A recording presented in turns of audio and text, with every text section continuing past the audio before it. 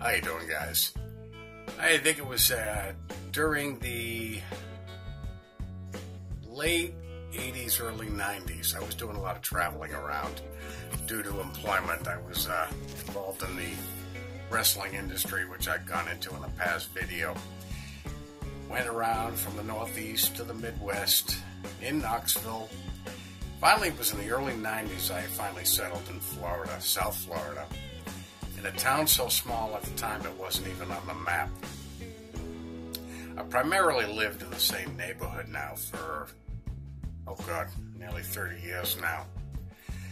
And it took me forever to get used to it around here. It was just so damn quiet. I mean, I couldn't stand it. Now I enjoy the peace, although it's picked up a little bit since then. In my neighborhood, there was like an iconic pizza place. You find out if you move from the Northeast down to Florida that pizza down here just is not the greatest. But this place, for some reason, just uh, had some icon status. This was when I first moved here. And it was a place I'd frequented at the time quite a bit. Years gone by, became one of Jehovah's Witnesses. My, uh, I'd mentioned my former Bible instructor. What a dick he was in some past videos. At the time, he had this uh, Bible study. We'd gone to eat in this place. Apparently, he'd gotten sick. Okay, things happen. Although, couldn't have been the bottle of rum he drank the night before. My uh, former Bible instructor was uh, type of dick that took everything was his business. He stuck his big ass nose where it really didn't belong. And to this day, I don't know why anybody hasn't punched this guy out. He took upon himself to go into this place and set the matter straight. Okay, first of all, your Bible study was a big boy. He could do that himself. And frankly, he was willing just to walk away from it. Okay, I got sick. Okay, I'm fine. He didn't die. Well, Yes, and that's right. I'm talking about you, Double J. If you don't like it, come get me. This prick went into the pizza place and he told me the story afterwards. He says, I read him the riot act. We had it out and I just left. Well, I'd known the owner of this business for some years, so I kind of questioned his uh, end of the story. Now, being that I've been in this town for this many years, I knew most everybody in it and found out what really happened. Yes, he did go in there and read him the riot act. Something that this idiot just didn't realize. You never go into somebody's place of business and raise hell with them in front of customers, which he did too. Well, the owner of the place kind of took it personal. He was a tough little shit, and he went at him tooth and nail, and uh, my former Bible instructor whip it out with his tail between his legs. So that kind of sounded me kind of more like it. Okay. Well, like I said, this guy was just too stupid. He crossed swords with people that just he had no business crossing swords with.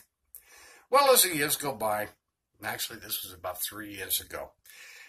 Now, where I work is a stone's throw from this pizza place. And one night I'm working, and he comes in and says, Yeah, I'm going to be closing up for a few weeks. I'm going up north. He was going to Jersey, visit his family, take a couple weeks off. Okay, I'll see you when you get back. Caught wind the next day that while he was driving out of town, he was in a car accident. And the unfortunate thing was he didn't make it. Uh, we were we were all shocked. I mean, this was the type of person you saw every day. I mean, you know, you never quite used to hear when somebody passes on. It just, it's always a shock. Now, it was a few days everybody in town was talking about it. It's like I'm still having people ask me about it. And I'm like, wow.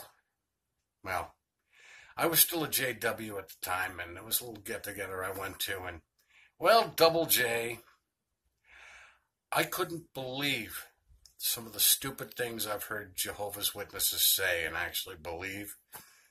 But this was one of the stupidest things.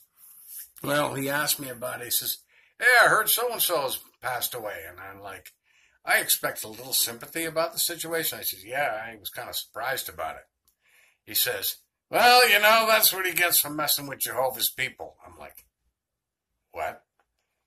And he says, Yeah, Jehovah doesn't like anybody messing with his people. I looked at this guy and I wasn't sure if he actually believed his own filth coming out of his mouth or he wanted me to believe it. Personally, I think he's been drinking too much of his own bathwater. I uh, had to kind of get up and walk away, and I'm thinking to myself, you believe that your God sent this guy to his death because of an altercation that you got in with him, an altercation that you started. And I'm thinking, if this is the God you worship that would wipe somebody out because he disagreed with you and you had an argument with and that you started, then screw your God with a broomstick. I mean, like I said, I've heard this guy say some stupid things in my life, and this by far was one of the stupidest. I mean, I, you know, I've told people some of the antics this guy has done and some of the stupid things he said, and they really can't believe it. But this guy was, not that he was uneducated, although he was, but he was one of, by far, one of the stupidest people I've ever met. But to make a comment like that just was absolutely ridiculous. I couldn't believe it. But then again, he picked a fight with me outside of my place of employment because I no longer wanted to be one of Jehovah's Witnesses and took it upon himself to find out what the issue was. And the other stupid thing he said, referring to the mother of my daughter on his way out, when he realized, no, I'm not going back, he says, You left the organization for a piece of ass. Now, Double J, and I'm really thinking about making, coming out using your name you know, from the Stuart, Florida congregation of Jehovah's Witnesses. That was something I never addressed with you personally, but why would you say something like that?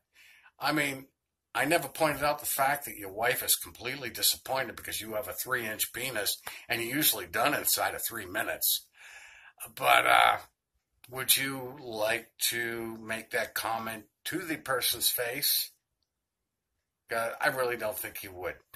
But I'll give you credit. At least since I'm out of the organization, you've been smart enough to stay out of my way and hiding wherever it is that is. Because face it, son, this is my town. You just take up space in it. Anyways, guys, I just wanted to get that out there. Just some of the stupid things I've heard while I was one of Jehovah's Witnesses.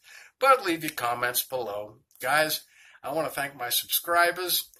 And if you come across this video, just hit the notification button. That'll let you know that I'm out here. You guys have a good day, and I will see you soon.